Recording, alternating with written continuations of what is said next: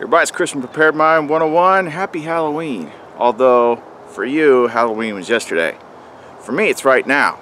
So it's kind of a little bit like time travel. It's like you're actually seeing into the past right now. It's, you never thought of videos that way, did you?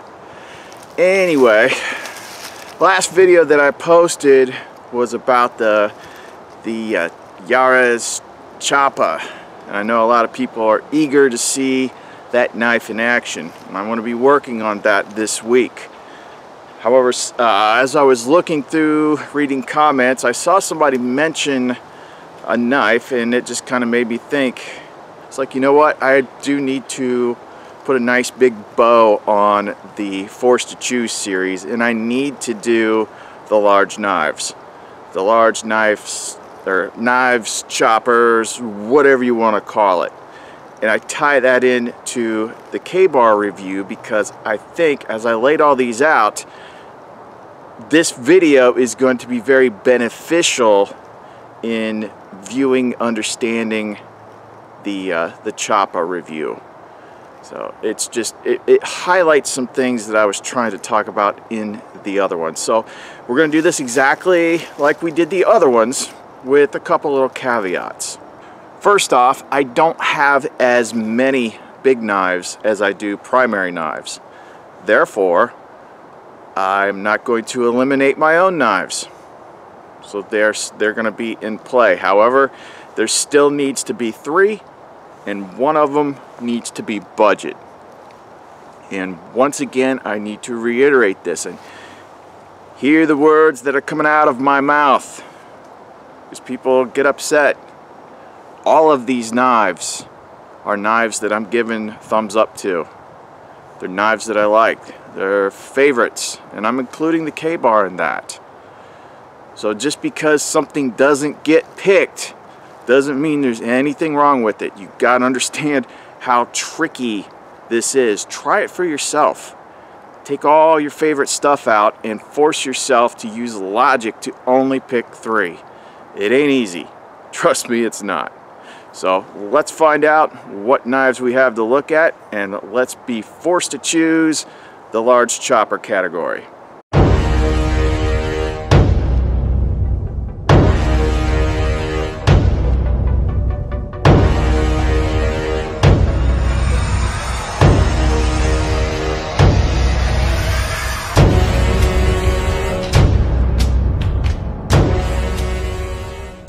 So these are the ones that I currently have. These are from my keepers pile. So let's go ahead and run through them and you'll see a couple obvious eliminations. We're going to have the CRKT Chanceinhell machete. We're going to have the Kershaw Camp 10, the Condor Bushcraft Parang, the Ka-Bar Jarosz Choppa, the JX5 Vengeful 1, the Tops SXB, the TM Hunt M18, Classic Jess-X, and both versions of the Bark River Shining Mountain Bowie. You got a couple different things here. You've got some large knives that are intended by their design to serve many different functions and those would be these four up here Jess-X, the M18, the SXB, and the Vengeful One. You've got a couple, you've got one that is mostly a short machete, maybe just a little bit uh, thicker than your typical machete, kind of like in the middle. That's going to be your chance in hell. You've got a good all around, I mean, this could probably be considered something that would fit in with these with the Camp 10. Got a classic parang in the Condor Bushcraft parang, which I've said over and over and over again. I think the Eco parang and the Bushcraft parang, uh, those names should be reversed. I think the smaller one should be the Bushcraft parang.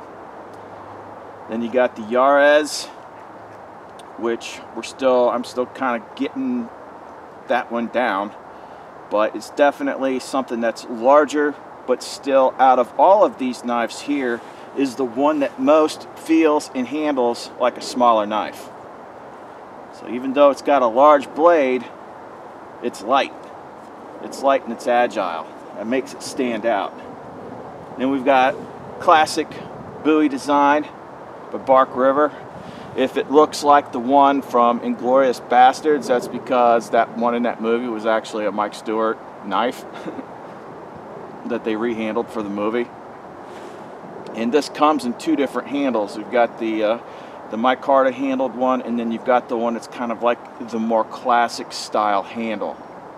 So now we need to start uh, doing some quick eliminations and choices.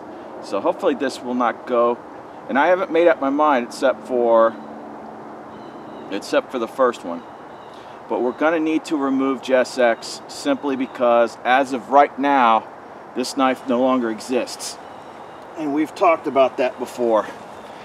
My only hope for the sake of the fans of this knife is the last I heard they had already ordered another batch of these that couldn't be canceled, which means they were going to make another batch and they were going to do it back the way that it's supposed to be. I don't know about that. Maybe people will get one more chance to grab a Jess-X, but I don't know. But since nobody can actually get this right now, and because I'm no longer using it, has to be eliminated. So, first elimination is Jess-X. Secondly, we have two of the same knife here, and that is the Bark River Shining Mountain Bowie. And I will have to say, I haven't got to this review yet. Now, this classic style handle looks nice. But for me, in my uh, hands, which are kind of like right in between medium and large hands, uh, the handle feels a bit big to me. The micarta version, however, is very ergonomic. And I know I upset some fans of Bark River whenever I wrap a handle because they like to look at the handle. But sometimes for those of us that use knives, function trumps aesthetics. And although this felt really good, certain knives, Wilson Wrap will just make the knife feel completely different, more secure, and just better in every way if you're actually using it. So that is going to be my preference. So I have to eliminate one of these anyway, so I'm going to eliminate the classic style handle of the Shining Mountain Bowie. Let's quickly go through the steels that we have presented in front of us. Uh, we've got the first two, which are definitely budgets, and that's going to be 65 MN carbon steel the Condor is going to be 1075 carbon steel. The Ka-Bar is 1095 CV. The Vengeful 1 is CPM 3V. The SXB is 1095. The TM Hunt is O1 tool steel. And the Shining Mountain Bowie is A2 tool steel. So this time we have a lot more variance with the different steels. So like we did with the primary belt knives, what I'm going to do first is go ahead and take my first choice, then figure out my budget choice, then figure out the third choice. And as I said, because we have less knives to deal with here, this time I did not exclude my own knives. So my first choice, obviously, is going to be the JX5 Vengeful 1. And yeah, yeah, it's my knife, my video. Everybody, let's just throw a big steaming fit. But here's the thing. I believe in this design. And you don't have to take my word for it. You can just ask anybody that bought the first run that has it. Because they all pretty much say the same thing. And there is a video, a small channel called Pink G10 where he tested all the big bark rivers against each other. And this one came out on top on chopping. It is a multi-use blade. Multi-position handle, which this is my second multi-position handle, working on a third. I can do small tasks, big tasks, it can chop, it can baton. This is my big knife. How do we define budget? Because we've kind of got a line right here. these three, these, well, let's get this in order of price. So least expensive, next, next, next. Maybe for these purposes, we're going to take the, the uh, Jarosz Choppa and not call that a budget knife. Even though it kind of sort of is when it comes to my channel, it is technically right above a hundred bucks. These three are under a hundred bucks. So now we have to choose between these three for our budget pick. This is a lot harder than it seems because what I'm faced with right here, remember, I'm going for a set of three. So when I break down these into sections, it's not which one of these out of this three that I think is the best, but which one I think is going to be the, the best choice to be the set of the final three. And that's why I'm having a really tough time here. So what we have to consider, I think out of this, I'm going to go ahead and make my elimination and I'm going to eliminate the CRKT Chanceinhell. And the reason why is out of these two, this one is primarily a machete. But as a machete, and I hope to be testing some of the, the newer, larger ones of this, as a machete, it's very short. So when compared to these two, I don't think this is going to, this has what it takes to be included in the final three. Therefore, we have the Condor Bushcraft Parang and the Kershaw Camp 10, both of which I have spoken very highly of in the past on my channel. And when Jess-X was all messed up, I did a video for the people on a budget and I said if you take JSX out of the equation the best budget large knife that can chop that can do fine tasks that can baton I still think is the Kershaw Camp 10 you know that you get one of these for about 35 bucks. Everybody should have one. I think that the edge, the final edge angle needs to be tweaked a little bit. The rubber grip's a little bit rough on your hands if you're chopping, so I kind of had to wrap that with Wilson wrap. And I had to little tweak the sheath a little bit to give it retention, but those are all minor adjustments. So in order to make this choice, we're going to have to do like we did in the other videos, and we're going to have to bring back in the one that we've already got. And when you bring in the one that you've already chosen, it becomes pretty clear pretty fast which one's getting eliminated. And that's going to have to be the Kershaw Camp 10. Because in a final set of three,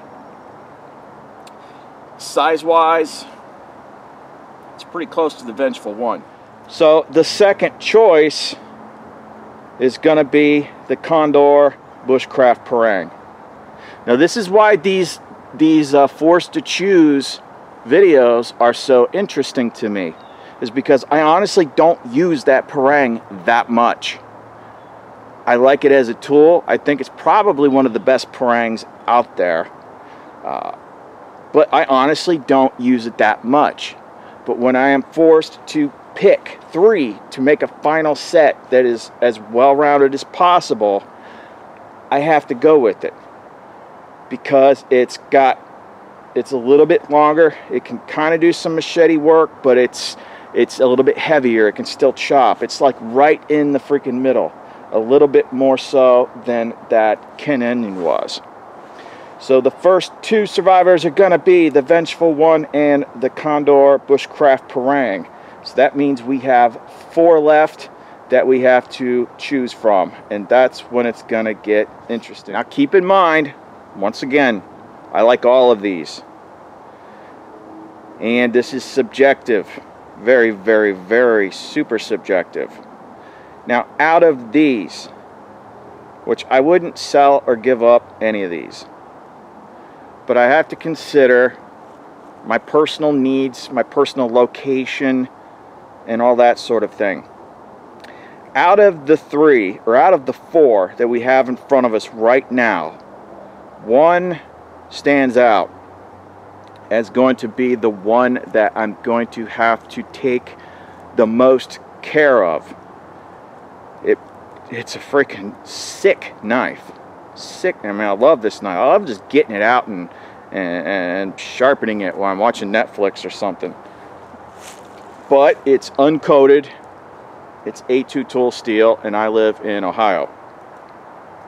The way that I keep this clean is with Flitz rifle gun and knife wax or something like that.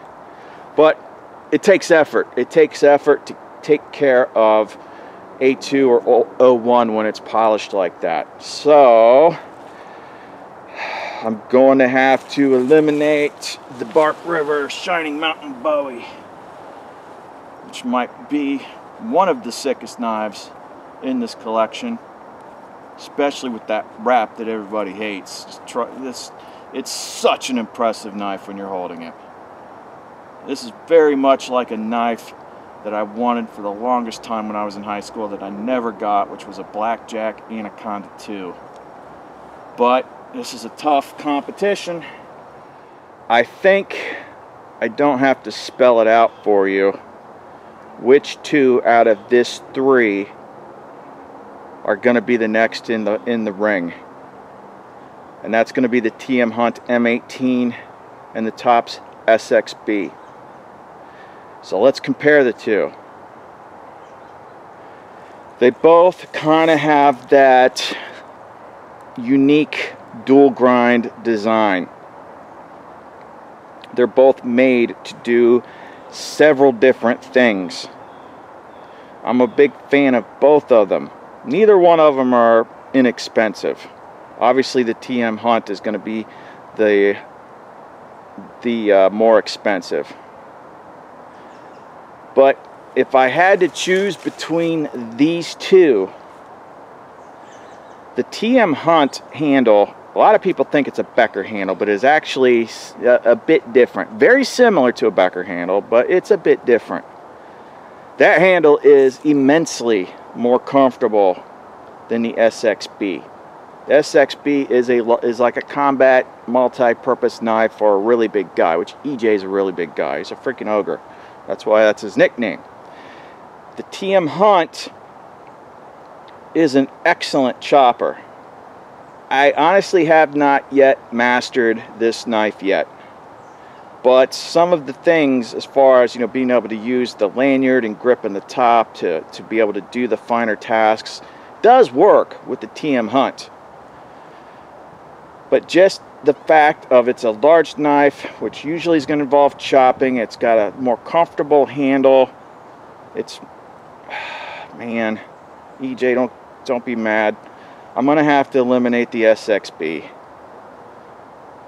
and, and it's a tough choice but it comes down to the handle.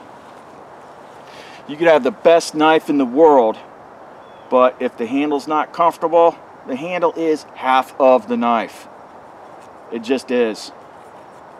So I'm going to keep the TM Hunt for now, and we're going to eliminate the SXB.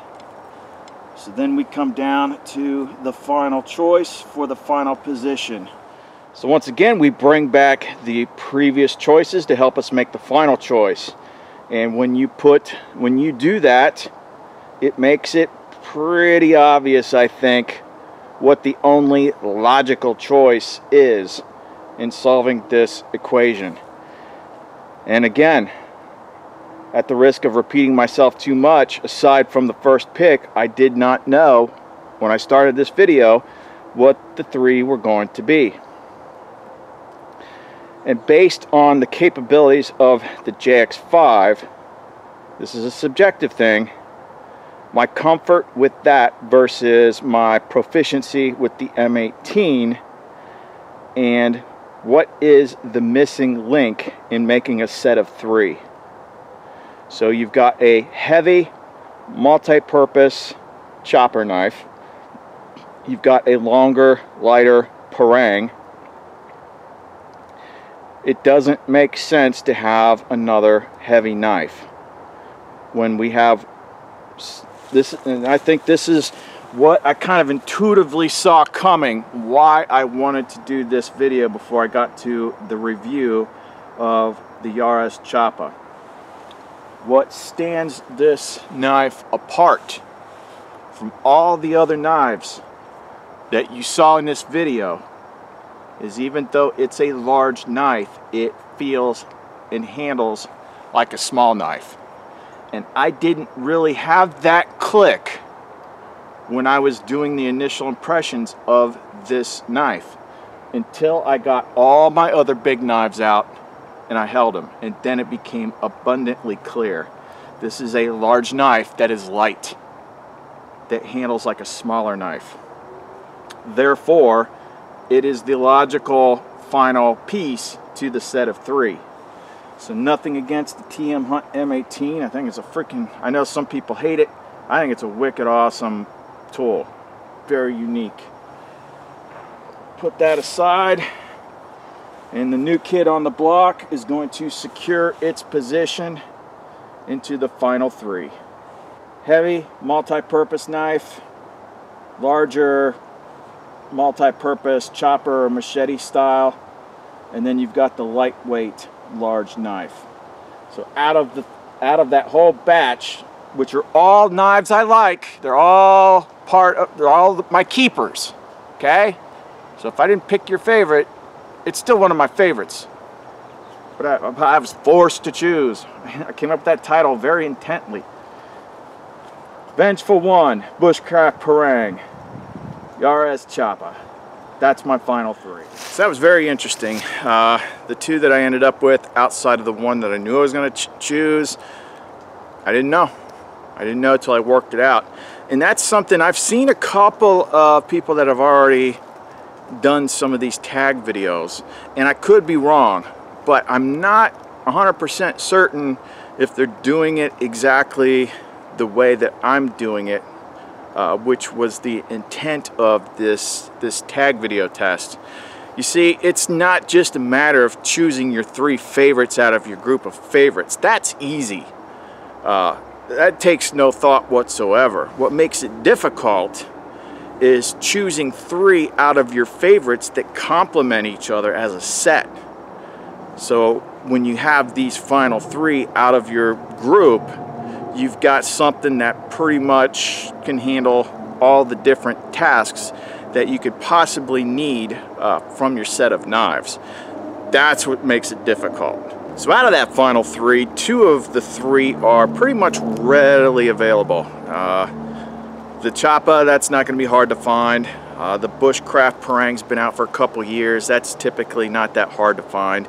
The people that ask me about the Vengeful One, uh, we got shorted on the first run. It was 250 and then it became 200 because 50 blanks just kind of went poof and vanished in shipping between Heat Treat and Bark River. So that was a kick in the nuts. But uh, steel's been ordered and they should be cutting another batch here before too long. And that's going to be a batch of 300 due to the popularity of the knife. So uh, people that are just seeing this for the first time, that's a big slab of 3V and you know the base price you know for standard like black micarta handles is only 250 so those are my choices. I don't think that I have any other sets of equipment or gear or whatnot that I have enough of to do any more of these forced to choose uh, because it has to be something that I actually have. It just can't be I just can't choose them off the freaking internet. So anybody wants to uh, go ahead and tag themselves in this, I definitely, I haven't, I've been letting people tag themselves, but in this instance, I'm gonna tag a couple people. And these are people that I know have a lot of large chopper knives. So I'm going to tag Iratus Jackalope, Angry Jackalope, I know he's got a bunch of stuff. And I'm going to tag Tactical. Those two guys, those are those are two of my first picks that I generally will send choppers to. uh, when I'm passing stuff around. So I know they have a lot. That's going to make it really difficult for them to have to work this problem out. Trust me guys, you'll see. It's not easy.